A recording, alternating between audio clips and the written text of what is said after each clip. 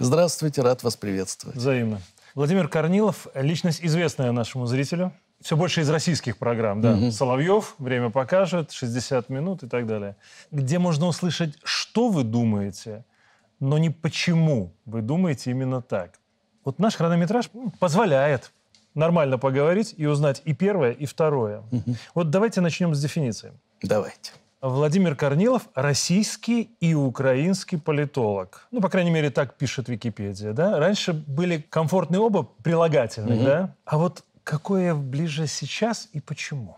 Ну, э, это вы русскую Википедию цитируете. Безусловно. В украинской Википедии я специально заглядывал на днях, написано, что Владимир Корнилов – российский политолог – известны своими украинофобскими высказываниями. Да. То есть, э, как вы понимаете, разные трактовки. Самое было обидное вообще, когда еще был гражданином Украины, да, исключительно гражданином Украины, российская Википедия указывала украинский политолог, а украинская указывала российский политолог. То есть, соответственно, и те, и другие не считали своим.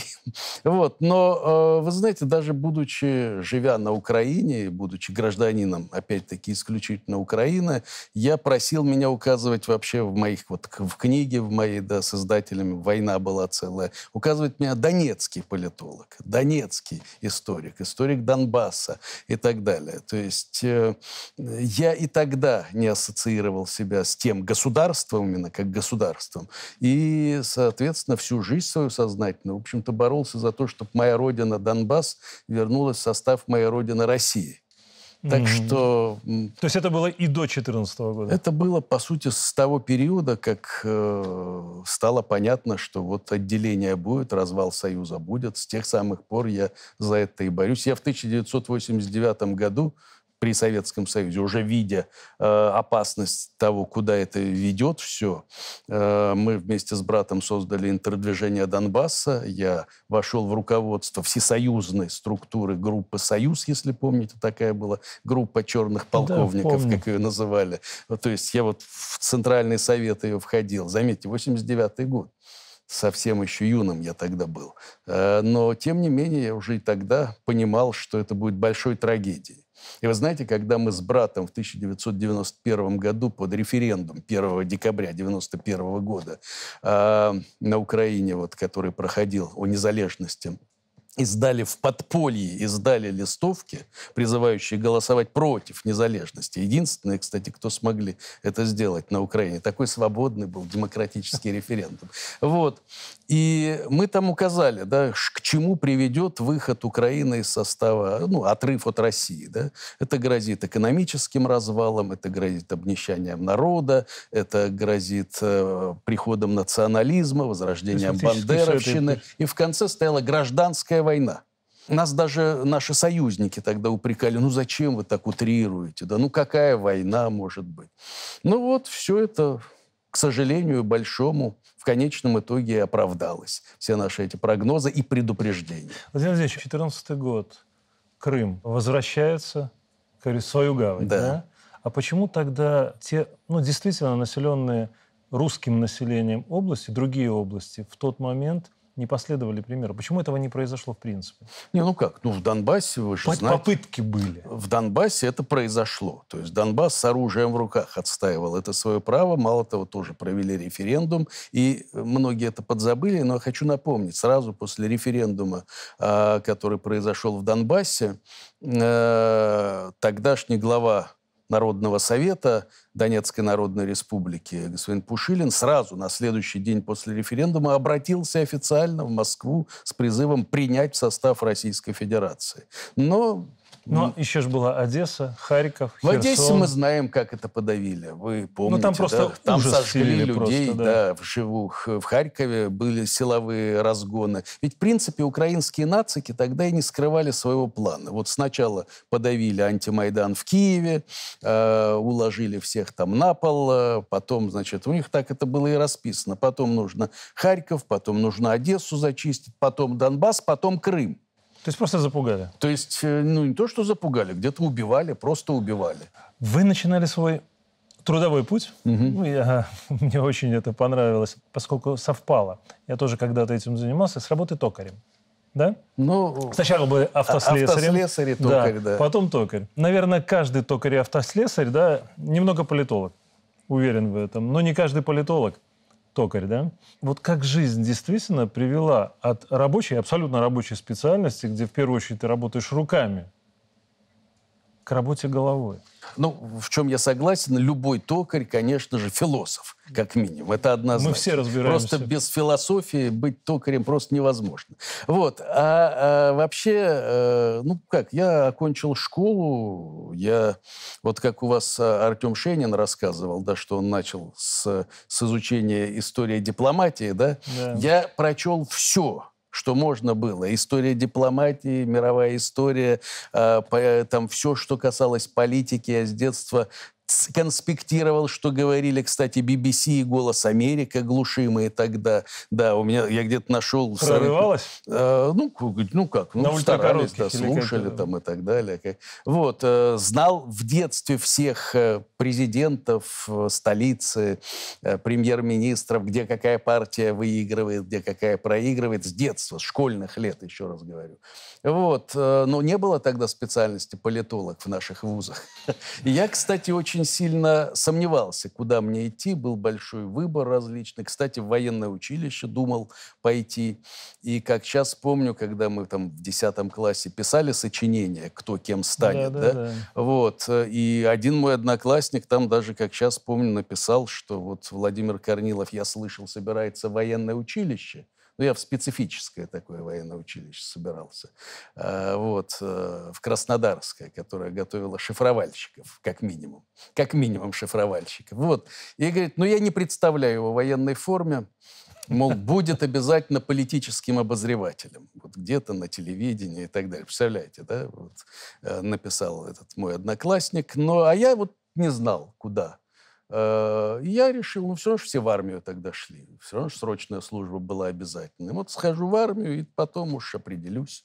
Соответственно, там небольшой промежуток между э, школой и армией. Я пошел на, по специальности, которую, кстати, в этом вне, внешкольная, как она называлась там у нас? А, Повышение э, профессионализма. УПК, УПК, да, да, точно, УПК. да э, курсы. Я вот пошел там же, где я проходил эту практику, соответственно, несколько месяцев поработал. А после армии уже, да, уже не было никаких сомнений. Я пошел на исторический факультет учиться и сразу активно был вовлечен в общественно-политическую жизнь. Собственно, дальше я вам уже рассказал. На самом деле отличное образование историческое. Но сейчас, на мой взгляд, одно из самых востребованных. Да, Да. это очень помогает. Не, и тогда я понимал сфере. прекрасно, что это действительно для того, чтобы ты понимал э, современность, ты обязательно должен понимать прошлое, э, читать его э, и, соответственно, ошибках прошлых учиться, чтобы из- как избегать ошибок будущего, чего, к сожалению, мы, я имею в виду всех нас, коллективно зачастую не умеем. Ну, вы родились в Липецке, но вся жизнь связана с Донбассом. Я родился в городе Липецк, не был там с шести лет, все мечтаю съездить, хоть что-то вспомнить, вот. Но да, все, я седьмом поколении дончанин.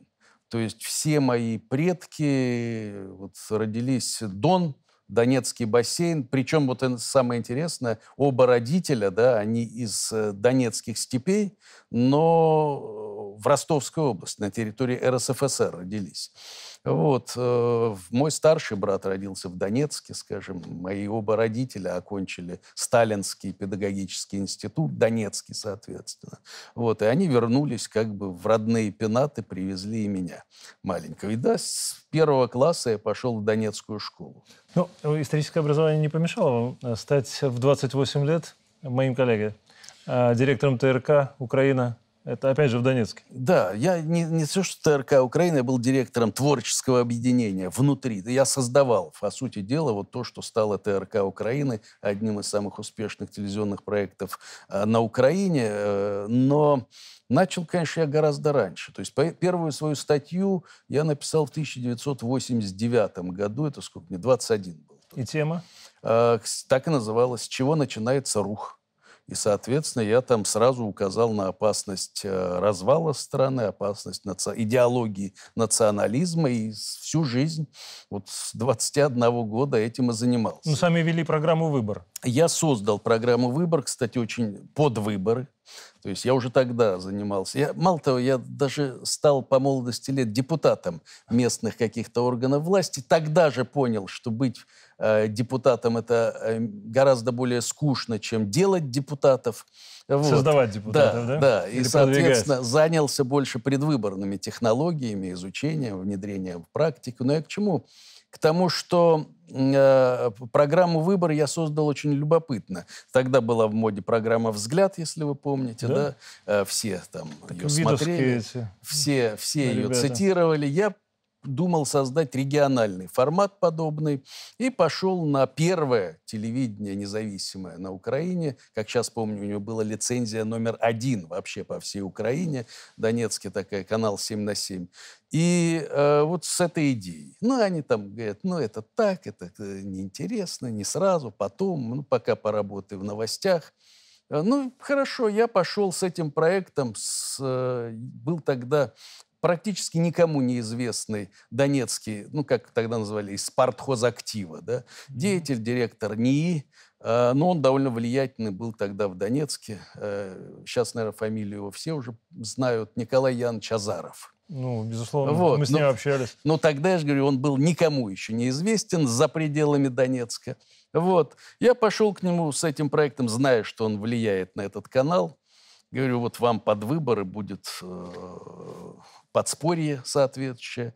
Потом вызывает меня директор канала, дает мою же бумагу, мною написанную, говорит, смотри, тут Николай Ян что-то вот такое, ну, что-то сырое такое, а ты же как раз хотел что-то подобное. И я беру эту и раскритиковываю, вы что, да не, ну, тут, конечно, что-то совсем полная чушь написана и так далее. Вот так я начал делать программу «Выбор», которая стала тогда действительно прорывом, самой популярной в Донбассе. И во многом сыграла, определяя, ну, значительную роль, так скажем, в изменении политической повестки дня там в Донбассе. Мы даже референдум в 1994 году организовали, тогда Донбасс, вот благодаря в том числе этой программе, провел референдум и в Донецке, и в Луганске, кстати, где 90 с лишним процентов населения, легальный референдум по решению облсоветов, то есть абсолютно легальный, где 90 с лишним процентов высказалось за официальный статус русского языка, mm-hmm. за федеративное устройство Украины, за самоуправление Донбасса. Если бы тогда вот послушались бы Донбасс, вот эти самые чиновники в Киеве, глядишь бы, мы не довели все это до вот этих страшных, как печальных, говорят, кровавых людей были бы живы, да? Ну, в том-то и дело. Да. Э, Владимир Владимирович, вот ирония судьбы, но у нас на телеканале ОНТ тоже была программа «Выбор» в 2010 году. Она прекратила существование, да, потому что наш ведущий ток-шоу, да, он сделал иной выбор – и уехал как раз на Украину. Потом, э, комментируя неоднократно, насколько там свобода слова более развита, mm-hmm. нежели в нашей тоталитарной или как республике. Вот о чем тогда у вас можно было вести полемику? Вот в те годы. Вы знаете, э, вот э, когда я тогда в, в первой половине 90-х делал программу, практически не было цензуры. Ну, там очень были сильные возмущения нациков, националистов. Они требовали закрыть. Э, само собой, очень долго, упорно приезжали, митинговали, из Львова в основном заезжали mm-hmm. и так далее. Но в целом сказать, что кто-то сильно вмешивался в редакционную политику, ну, вольница еще была, знаете. Вот с 94 -го года, после того, как Кучма пришел к власти, начали потихонечку сворачивать. Нам в итоге запретили говорить о двуязычии, о федерализме. Слово «федеративное устройство» было запрещено вообще упоминать. И так на долгие годы это все так было загнано. То есть начиная с 94-го где-то? Ну, оно и раньше. То есть требовали закрывать и раньше. Но вот э, с 94-го, да, это уже стало такой общей государственной политикой. Спустя э, там 4-5 лет, когда вот Кучма пошел на второй срок, и когда вдруг э, стали напоминать, а он же обещал двуязычие и федеративное устройство, у всех был шок, что, оказывается, кто-то это еще помнит. Причем большая часть Украины говорила на русском. И, так и сам Кучма долго вообще ни, ни слова не говорил по-украински. А что было вот этот за такой зигзаг в сторону реализации американской газеты? Вы, вы знаете, я же после этого пошел работать в прессу, в печать.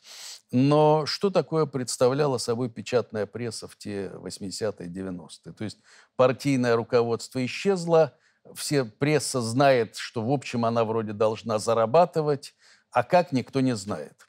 И вот споры велись всегда, знаете, вот, а вот у них вот это так. Нет, были всякие курсы, множество, наверное, вы тоже видели, застали все эти западные, соросовские Ой, он, же, он же сюда приезжал, ну, меня... пытался. Я, кстати, помню, я много прошел всевозможных курсов, тренингов и так далее. Я помню, как на одном из них в середине, во второй половине 90-х познакомился впервые с белорусскими Змагарами, да? Так это у вас? Ударение правильно? Да. да? Тогда это были змагары, сейчас в основном беглые. Вот. Ну... Не, ну, я помню тогда, как я был шокирован. Они с, с, с нас с братом где-то в Чехии, в Словакии там курсы проходили, потребовали, а чуть вы с нами по-русски говорите?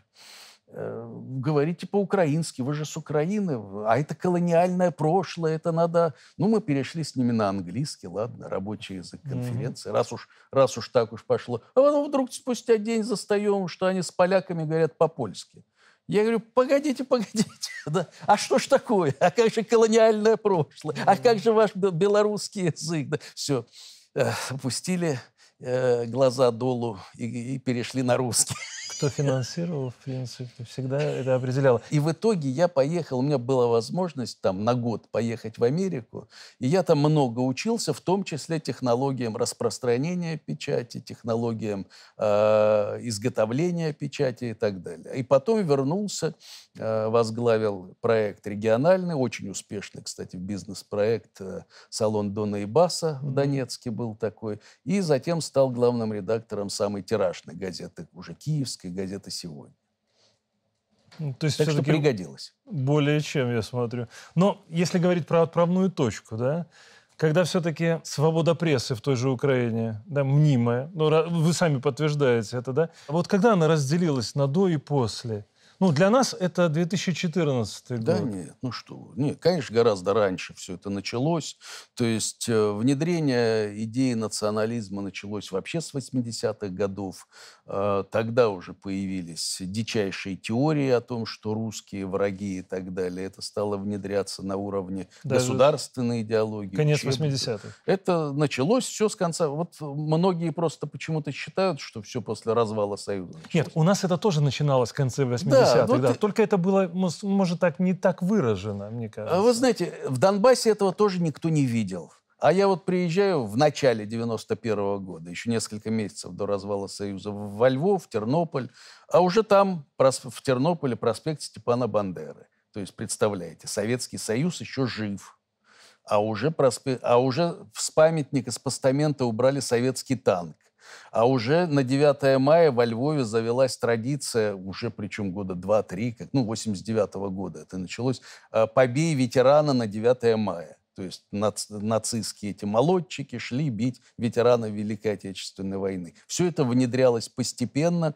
Многие воспринимали это Э, ну, как э, какое-то частное явление, не заслуживающее внимания. Э, мне, вы не представляете, сколько я это услышал. И в Москве, когда мы предупреждали об угрозах всего этого, и в Донецке, и в Киеве, что да, ну зачем ты утрируешь, зачем ты так вот нагнетаешь страсть. У меня где-то, кстати, смс одного министра Януковича лежит, очень влиятельного, кстати, министра, когда я вот в 2013 году предупредил всех заранее, за несколько месяцев, что будет Майдан, будут штурмы, будут стания, ну, все к этому, ну, то есть однозначно надо э, к этому готовить. Вот э, мне написал этот министр, ну зачем ты так, ну кто тебе это, зачем нагнетаешь, кому это надо? Сейчас где-то в Москве прячется, само собой. Знаете, вот я часто задавался вопросом, почему в 14-м, ну, мы думали, что это ярко началось именно в 14-м, за такой короткий срок даже русскоязычная часть населения, она настолько стала ненавидеть русских. Да Всю нет. русскость, русскую культуру, русскую историю. Нет, ну, конечно, еще раз говорю, тут не надо всех под одну гребенку. Само собой, мы видим, как встречают цветами русских освободителей многие. Ясно, для многих это противно и там. А, просто выразить это никто не может. Вы Боятся. понимаете, что происходит потом с теми, кто где-то лайкнет, исчезают. лайкнет если... где. Там убивают просто, да, там кто не может убежать. Вы не представляете, сколько сейчас людей здравых, да, прячется. У меня знакомые в монастырях там прятался, пока его не выловила СБУ, сейчас вот за стенках. Православный журналист, довольно хороший, довольно больной. Ну вот его сейчас там пытают, что там с ним делают, мы не знаем. То есть очень много, конечно, людей не поддерживают то, что творит украинская власть. Ну а то, что в массы эту психологию внедряли долго, вот это, э, знаете, идею Э, разности между русскими и украинцами, идею ненависти друг к другу. Это да, это факт. Причем вы не поверите, до чего это доходило, э, до абсолютно животных каких-то таких инстинктов, разгона животных инстинктов. То есть, скажем, я принял участие в одной телепрограмме, ну, года за два до Майдана всех этих, на ТРК «Украина», канал Татарина Рената Ахметова, mm-hmm. простите, он владелец. И там обсуждали э, ДНК. Вот насколько разные ДНК у русских и украинцев. Причем пришли к выводу на основе какого-то германского прохиндея там выводов, что украинцы это и есть истинные арийцы.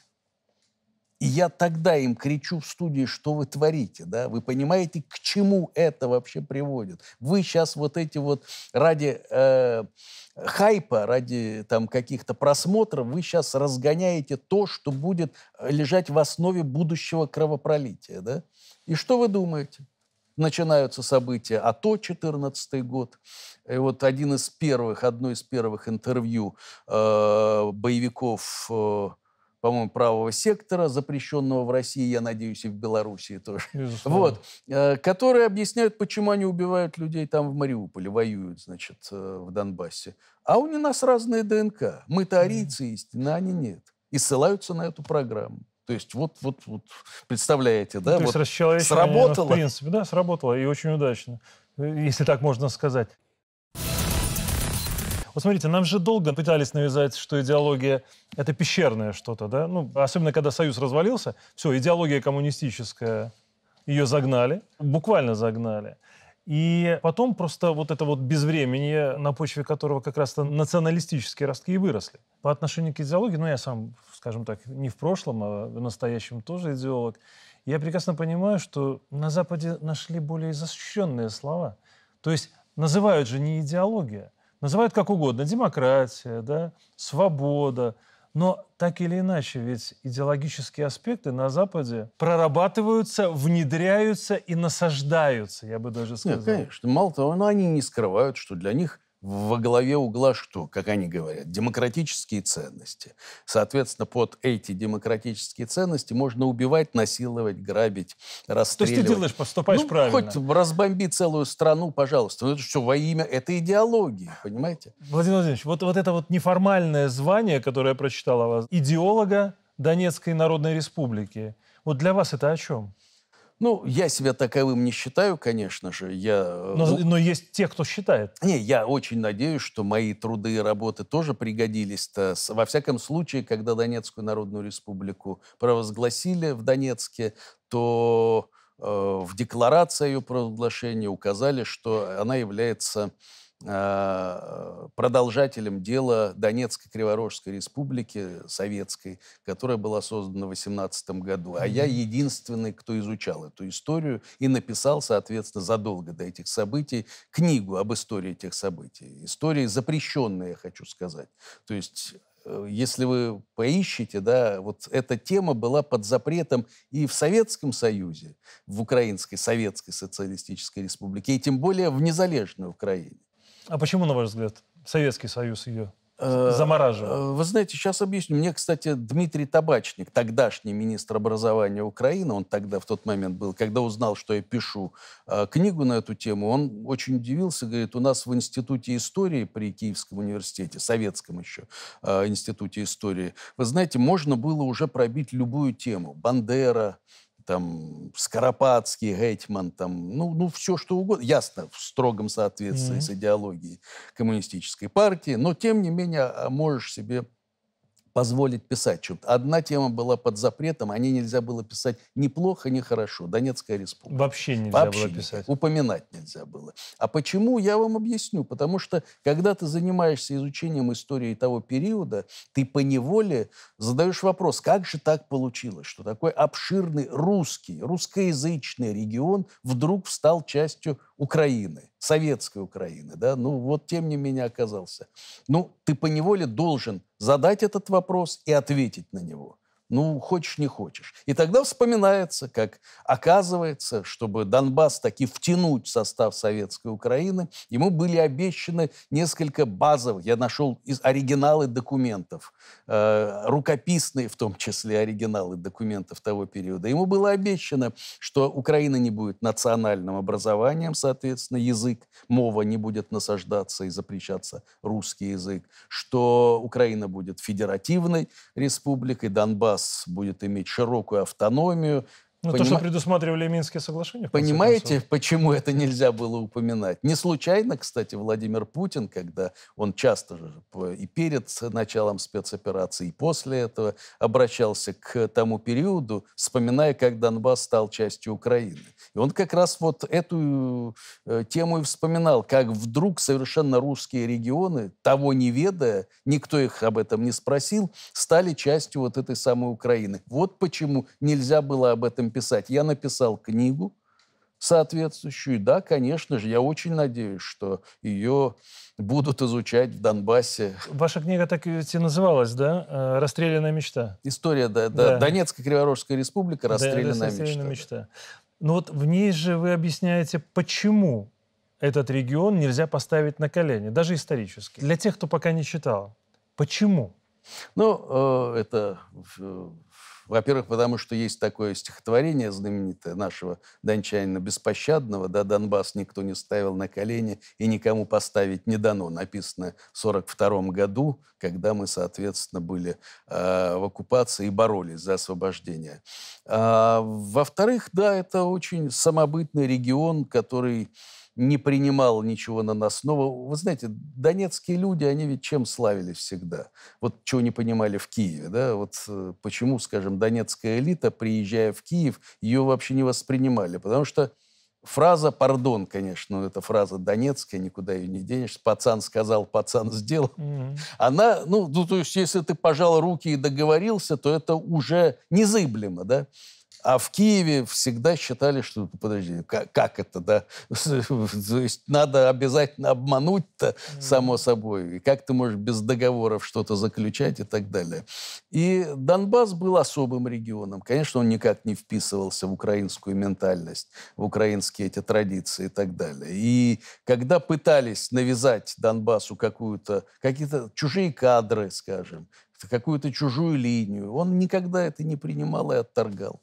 Владимир Владимирович, вот знаете, ведь Путин действительно в своих речах только недавно начал говорить об этих исторических реалиях. Почему этого стеснялись? Ну, все мы стеснялись говорить об этом раньше. Да что нет. вот это русский регион, здесь живут русские, здесь живут русские. Почему мы так боялись этого? Да. Кого мы боялись обидеть? Ну, Путин это начал упоминать, э, ну, лет, э, ну, собственно говоря, с началом АТО, так называемый, после 2014 года он не раз упоминал вот этот э, именно пассаж насчет того, как вдруг Донбасс из чисто идеологических, партийных соображений оказался частью Украины. Это ведь не скрывали, да? Почему Донбасс пролетарский, да, русский, по сути, подарили. Э, нужен был на Украине. А Украина мелкобуржуазная, такая сельская страна, республика. Ее надо добавить в нее сознательный, большевистский, мощный элемент. Вот, вот и все. Вот так вот ради партийного строительства. Рабочий элемент. Да, он и оказался частью этого государства. Хорошо. Но почему стеснялись? А, так потому что у нас ведь вот сложилась такая практика, что ли, к сожалению, большому, и до сих пор мы не можем от нее а, зачастую отказаться. Я имею в виду не только Россию, само собой, на постсоветском пространстве. А вот мы не должны вмешиваться. Да главное чего? Тут газ, э, Куда денется Украина? Да? И в это время под его боком развивались самые русофобские проекты. Запрещался русский язык. Когда мы поднимали вопрос о том, что нужно увязать, как это делает Европа, как это делает Запад, вот ту самую идеологию с экономической выгодой. Вы же посмотрите, да, как сейчас Ирану говорят, mm-hmm. например. Ну, это один из самых свежих примеров. Да. США говорит, вот вы перестаете Россию поддерживать, вот вы с беспилотниками программы сворачиваете, а мы вам чуть-чуть санкций снимем. Ну, да? Так Мадури то же самое предлагает. Всем, абсолютно. Вот у них очень четкая увязка. Вот наша идеологическая линия, мир, основанный на правилах, вы хоть чуть-чуть ему следуете, и тут мы вам чуть-чуть денежек, ваших денежек, забранных нами, чуть-чуть э, выделим. А мы постоянно этого стеснялись. Мы почему-то считали, что идеология это отдельно. Нет, нет, ни в коем случае нельзя смешивать вопрос дешевых цен, низких цен на газ, извините, значит, с э, этими самыми, с вопросами защиты русского языка на Украине, с э, развитием э, программ по развитию русской истории и культуры. Вот нельзя было связать воедино. Это было официально объявлено, понимаете? И это, к сожалению, предопределяло вот эту нашу зависимость от экономикоцентричной модели когда идеология это что-то там где-то наносное, а подумаешь, она ни на что не влияет, стоит нам купить украинскую элиту дешевым газом, и все, все пойдет. Mm-hmm. Ну, видите, во многом мы расплачиваемся Расплачиваемся, это правда. Причем мы все. Я, да, Украина один из примеров, но самый яркий, конечно. Вопрос человеку, который успел поработать в самых разных видах СМИ, и которого и, хоть и боятся, но давайте прямо говорить, вас цитируют, в том числе и западные издания. Вот почему в последнее время мы видим такой сильный рассинхрон в западной прессе. Почему у одних украинский контрнаступ, да, это прорыв, и буквально в этот же день в другой газете, в другом СМИ это провал. Что происходит вообще? Ну, дело Сейчас. в том, что разные... Я действительно занимаюсь последние годы анализом большинства э, западных СМИ, мейнстримных, около мейнстримных, в разных странах, исследую э, в том числе технологии выбора в этих странах и медийные технологии в первую очередь. Вы знаете, просто разные СМИ в разных странах играют э, разную роль по отношению к Украине. Скажем, я знаю некоторые газеты британские, да, европейские, особенно британские, которые просто у них задача участвовать в этой информационной войне. Вот, скажем, газета «Таймс», да, консервативная некогда газета, которая, у нее четко есть несколько штатных информационных провокаторов, так скажем, работающих на службе этих самых ЦИПСО, угу. э, своих, британских, ну, с привлечением, конечно, украинцев. И вот их задача вбрасывать фейки русофобские, разгонять вот эти самые антироссийские настроения, в частности. Они этим начали заниматься задолго до СВО, уж смею вас заверить. А, ну, и от них вы все равно услышите в любом случае попытки доказать э, завтра, если допустим, да, российские освободительные э, войска, скажем, окажутся в, э, где-то на западе Украины, да, то они все равно будут писать о победе.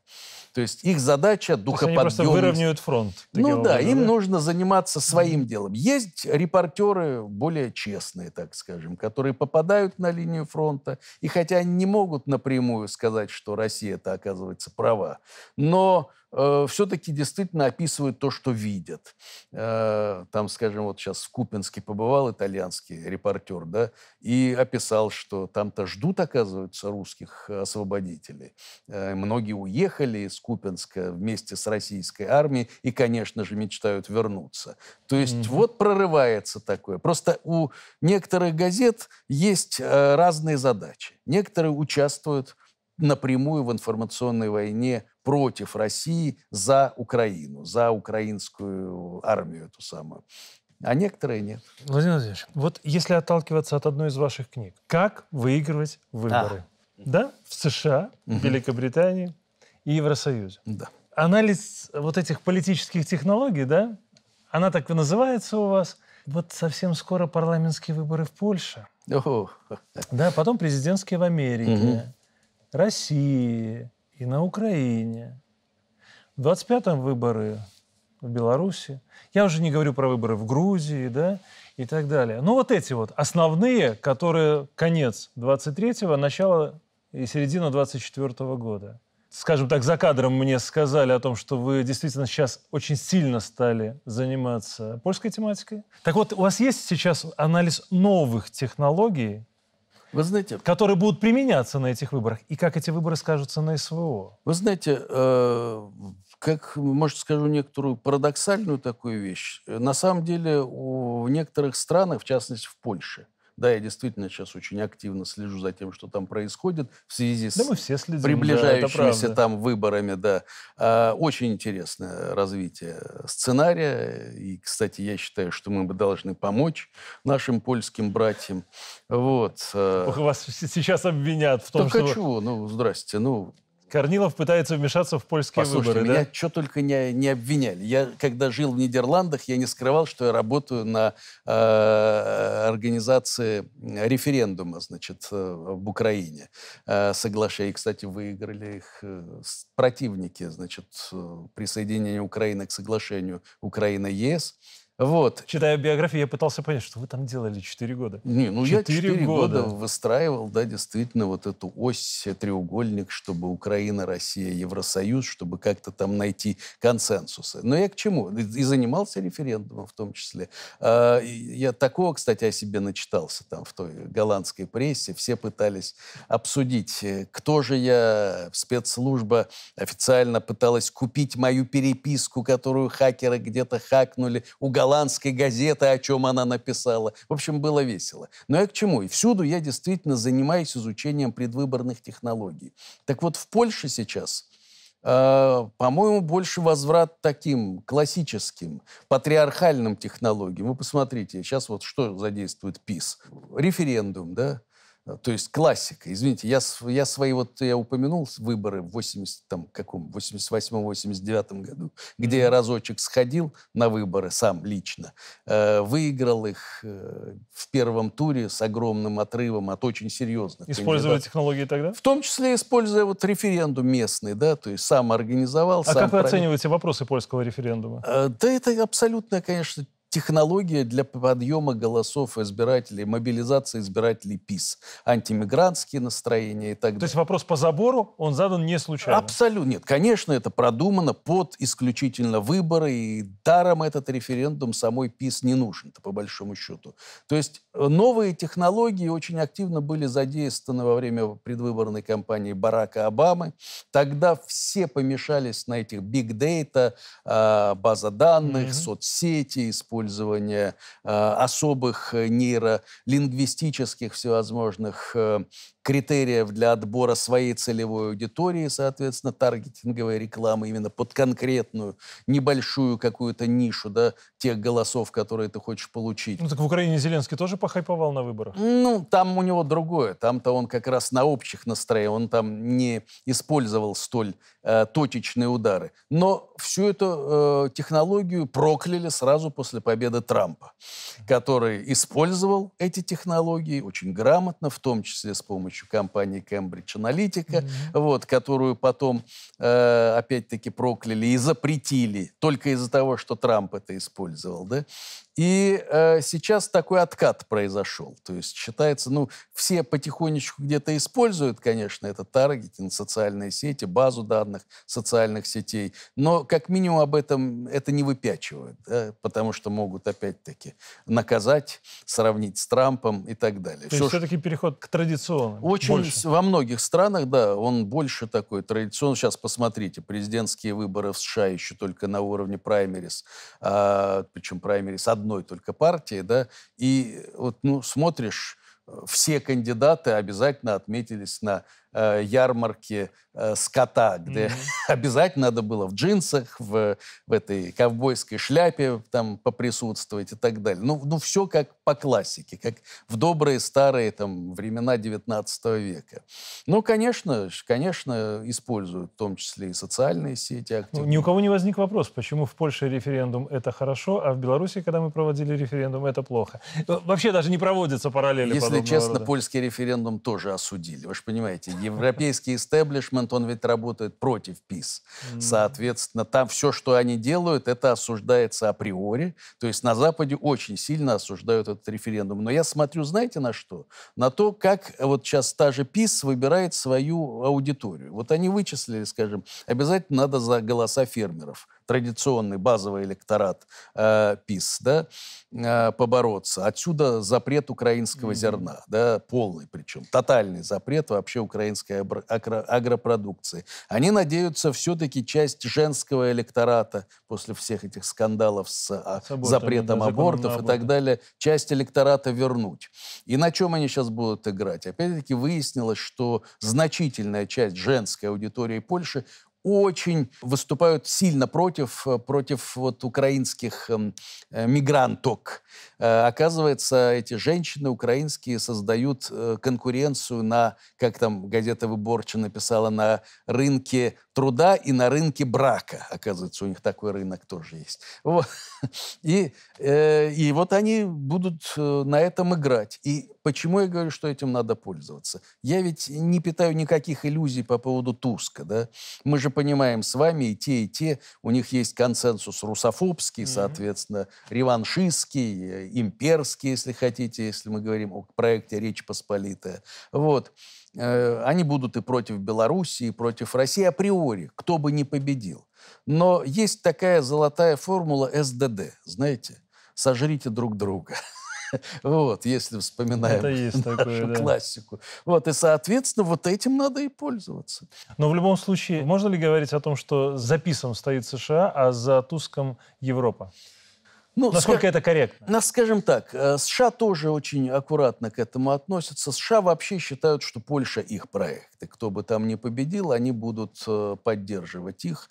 А, поляки очень сильно э, надеются на поддержку США. Но то, что Туск однозначно европейский проект, это факт. Конечно. Ну, тут же работает, по сути, на те же самые аудитории. Но а, обратите внимание, да, вот сейчас на Украине затаенная надежда на то, что Туск придет, появилась. То есть они об этом прямо заявить не могут, но вот этот запрет украинского зерна угу. очень больно ударил по не только экономическим интересам, но вообще по ментальности э, украинцев. Они считали поляки наш самый лучший, верный, преданный союзник, да? И тут пац, полная блокада. Э, и они думают, сейчас Туск придет, он же европеец, ну, соответственно, ясно, что он не будет блокировать решение Еврокомиссии, как ПИС грозится, да? А что Туск делает вот буквально на днях? А, объявляет о том, что он берет в число проходное своего списка лидера Агроунии, того самого профсоюза, который, сути, собственно, разраб... организовал да, да, все эти блокады украинского зерна. Но э, Украина забывает о том, что, в принципе, не только ж Польша в эту блокаду включается. И там же совместное было решение. И венгры участвуют, и болгары, и румыны. Участвуют. Но, во-первых, Польша гораздо более глобальный рынок. Через Польшу шли основные потоки. И самое главное, что Польша – локомотив всего mm-hmm. этого протеста. То есть, если бы не было э, протестов польских фермеров, то румыны, болгары так э, особо и не выступали бы. Владимир Владимирович, мы на этом закончим первую часть нашего разговора и продолжим буквально через пару дней. Договорились.